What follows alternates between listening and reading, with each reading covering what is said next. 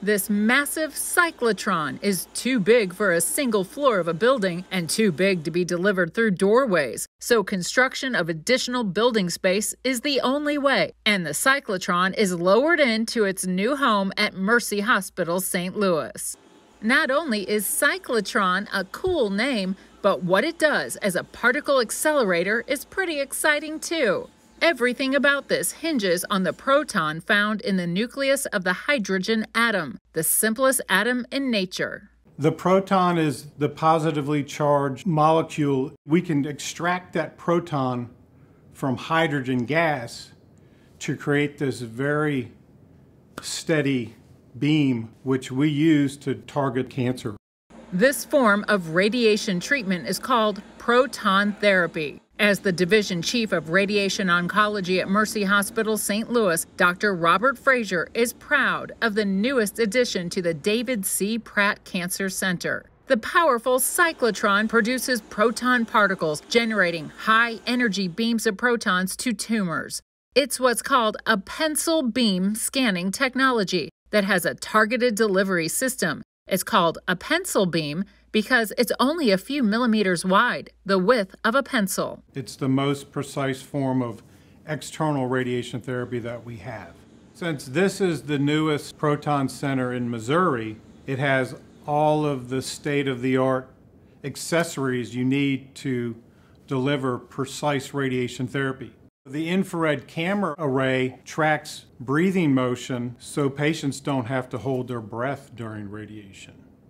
It's actually tracking the tumor and the patient.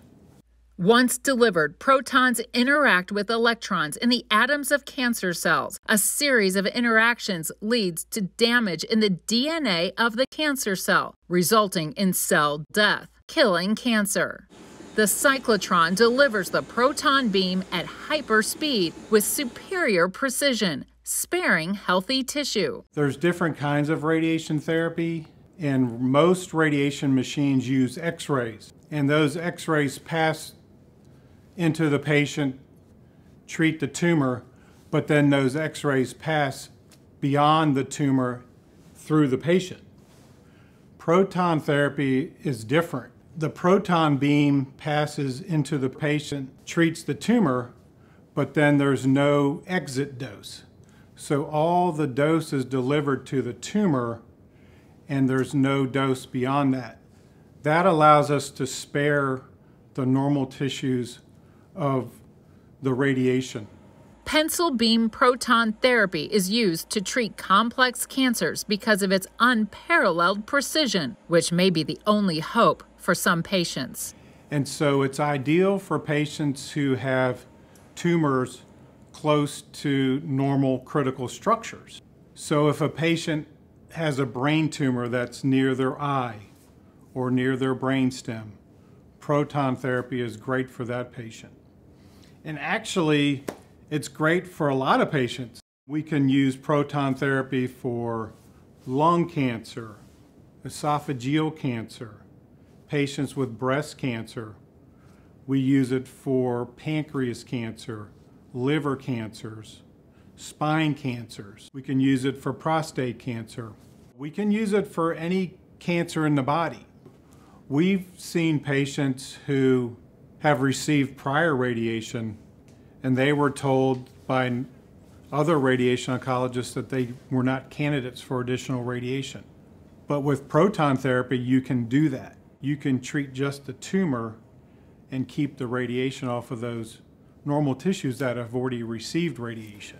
And proton therapy is beneficial for children with cancer. So, children who have cancer, they're more susceptible to the effects of radiation. So, if we can minimize the radiation to the normal tissues in a child, we need to do that. The Mercy Proton Therapy Center is a major accomplishment as it's only one of 40 proton centers in all of the United States. And it's no wonder the cyclotron, with all of its parts, takes up three full stories of building space. This technology has required over eight decades of advancement, and that's because the first proton vaults and the signature of the facility was over a football field in size. We've been able to shrink through technology advances the size of the proton vault from a football field down to about 3,000 square feet. You have to have these massive arms to control the movement of that cyclotron. Those arms are about 60 feet long and they're about 30 feet wide at, at the end. That's why it takes three stories. In order to generate that proton particle, you have to have miles of tubing and miles of cable. Actually, there's a thin wire on the inside of the cyclotron that's 26 miles long. It's super thin, but that allows us to then spin that proton around and around, and then when it gets close to the speed of light, that's when the beam comes out. All of that to deliver a treatment into one proton therapy room, one patient at a time. And patients never see any of this because it's on the other side of the walls. Patients will only see a little nozzle that can spin like this. Treating its first patient on July 5th, the center is now open.